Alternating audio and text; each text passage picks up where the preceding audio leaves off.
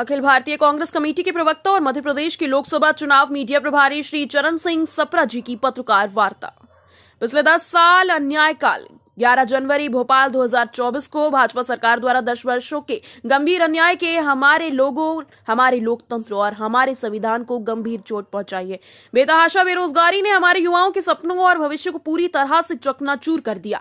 कमर तोड़ महँगाई ने हमारे गरीबों और मध्यम वर्ग की मेहनत की कमाई को नष्ट कर दिया है। आय असमानता चरम पर है, मुट्ठी पर अरबपति व धन कुबेर वर्तमान व्यवस्था पर शासन करते हैं और उसको कठपुतली बनाते हैं। दलित, आदिवासी, पिछड़े वर्ग, अल्पसंख्यक और गरीबों के साथ भेदभाव व अत्याचार किया गया। किसानों के साथ धोखा हुआ है, महिलाओं के खिलाफ अपराध चरम पर है। अपराधियों का महिमा मंडन किया गया। सभी स्वायत्त लोकतांत्रिक संस्थाओं का गला घोटकर उन्हें अधीन कर दिया गया।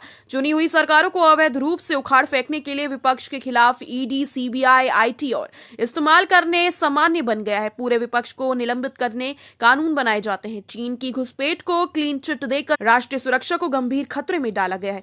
जुमलो पीआर स्टंट इवेंट के शोरगुल के माध्यम से नागरिकों के सामाजिक, आर्थिक और राजनीतिक जीवन को नष्ट कर दिया गया। पिछले दस वर्षों में मोदी सरकार के अन्यायों की लंबी सूची ने भारत के लोगों को भारी कष्ट सहने पर मज़बूत कर दिया। युवा बेरोजगार, भारत को बेरोजगार बनाओ। बेरोजगार लोगों की संख्या तीन गुना हो गई है, एक करोड़ 2012 से चार करोड़ 2022 तक। बेरोजगारी दर पैंतालीस वर्ष में सबसे अधिक है। तीन में से एक ग्रेजुएट नौकरी की तलाश में है, लेकिन नहीं मिल पा रही। दूसरा, महँगाई की मार से बचत नष्ट। पेट्रोल, डीजल, एलपीजी, सीएनजी, आटा, दाल, चावल, खाना पकाने का तेल, दूध, सब कुछ महँगा हो गया है। आवश्यक वस्तुओं पर जीएसटी लगाया गया। घरेलू बचत 50 साल के निचले स्तर पर है। तीसरा, खेती और किसानों से धोखा। मोदी सरकार के तीन काले कानूनों ने किसानों को एक साल तक धरने पर बैठने को मजबूर कर दिया। ये साढ़े सात सौ हुए शहीद। भारत में हर घंटे कम से कम एक किसान आत्महत्या से मरता है। चौथा, कमज़ोर वर्गों जैसे S C S T OBC अल्पसंख्यक के खिलाफ भेदभाव। कोई जाति जनगणना नहीं। 2013 के बाद से दलितों के खिलाफ अपराध में छियालीस दशमलव ग्यारह प्रतिशत की वृद्धि हुई है। 2013 के बाद से आदिवासियों के खिलाफ अपराध में अड़तालीस दशमलव पंद्रह प्रतिशत की वृद्धि हुई। मोदी सरकार जाति जनगणना से क्यों भाग रही है? पांचवा, महिलाओं पर अत्याचार, बेटी बचाओ, बना, दोषी बचाओ। छठा, सार्वजनिक स्वास्थ्य और कोविड उन्नीस कुप्रबंधन। सातवां एमएसएमई और जीएसटी मेक इन इंडिया की विफलता। आठवां, गरीब परिवार, असमानता, पूंजीपतियों की सरकार सार्वजनिक क्षेत्र। नौ, चीन, अग्निवीर, आतंकवाद। दसवां, लोकतंत्र की हत्या। मोदी सरकार और भाजपा आरएसएस नहीं चाहते कि भारत के लोग वास्तविकता देखें, लेकिन भारत को अब एहसास हो गया है कि वह हमारे नेता श्री राहुल गांधी जी के नेतृत्व में भारत जोड़ो न्याय यात्रा के माध्यम से आगामी 2024 चुनावों में एक साथ मिलकर शक्तिशाली तरीके से अपनी आवाज़ उठाएगा। भारत लड़ेगा, न्याय का हक मिलने तक मिश्रा साहब मंच पर उपस्थित सभी आदरणीय प्रवक्तागण सभी मध्य प्रदेश कांग्रेस कमेटी के पदाधिकारी। सर्वप्रथम मैं मध्य प्रदेश कांग्रेस कमेटी के अध्यक्ष आदरणीय जीतू पटवारी जी का के के मिश्रा साहब का धन्यवाद करना चाहूँगा कि फिर एक बार आपने मुझे पत्रकारों से यहाँ पर भोपाल में रूबरू होने का मौका दिया। यूँ तो विधानसभा के चुनाव में मैं चार पाँच दिन भोपाल में था। और फिर डेरा जमाने का आदेश हुआ इंदौर में। तो मालवा रीजन के पत्रकारों को तो मैं बहुत मिला, लेकिन आप लोगों से मात्र दो मुलाकातें मेरी यहाँ पर हुई थी जो प्रेस कॉन्फ्रेंस मैंने भोपाल से करी थी। खैर, आने वाले समय में और मौका मिलेगा जिस तरह से इन्होंने बताया कि एआईसीसी ने जवाबदारी दी है कि लोकसभा के चुनाव के लिए मीडिया कम्युनिकेशन और मीडिया से संपर्क और कोऑर्डिनेशन करना ये मध्य प्रदेश में मेरी जवाबदारी रहेगी, आप सबका सहयोग रहेगा और हमारे जितने भी प्रवक्ता हैं पूरे मध्य प्रदेश राज्य के अंदर, उन सबसे कोऑर्डिनेट करके मुझे अपना काम पूर्ण करना है। आपका सहयोग पहले भी मिला है और आगे भी मिलता रहेगा। आज के दिन में विशेष रूप से आपके सामने आया हूँ कि आप सभी को पता है कि आदरणीय श्री राहुल गांधी जी की जो भारत जोड़ो न्याय यात्रा है, वो 14 जनवरी से वो आरंभ हो रही है, उसकी शुरुआत हो रही है। मणिपुर से मुंबई तक इस यात्रा ने जाना है। पिछली यात्रा के दौरान भी बहुत अच्छा उसमें प्रतिसाद मिला, उसमें बहुत से लोग जुड़े, बहुत विचार विमर्श हुआ और भारत जोड़ो यात्रा जो थी, वो पूर्ण तरीके से चार हज़ार किलोमीटर के करीब चल के आदरणीय श्री राहुल गांधी जी कन्याकुमारी से लेकर के कश्मीर तक उन्होंने उसको संपन्न किया, जनता की नब्स को टटोला, जनता के विषयों को लिया। अब की बार जो यात्रा है, वो भारत जोड़ो न्याय यात्रा है। वो इसलिए क्योंकि हम देख रहे हैं कि मौजूदा जो केंद्र की सरकार है या भारतीय जनता पार्टी की राज्यों के अंदर सरकारें, उससे किस तरह से जनता प्रताड़ित है, परेशान है। यानी पिछले दस साल अन्याय काल ये इसका शीर्षक हमने मुख्य रूप से रखा है। छियासठ दिन 6,713 किलोमीटर 110 ज़िले 15 राज्यों के अंदर और आपके मध्य प्रदेश से भी।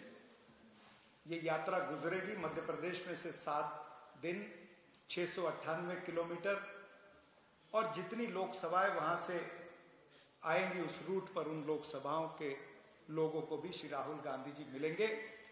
और मध्य प्रदेश की जनता से मैं आग्रह करना चाहता हूँ आपके माध्यम से कि आम जनता भी इस भारत जोड़ो न्याय यात्रा के साथ में जुड़ सकती है।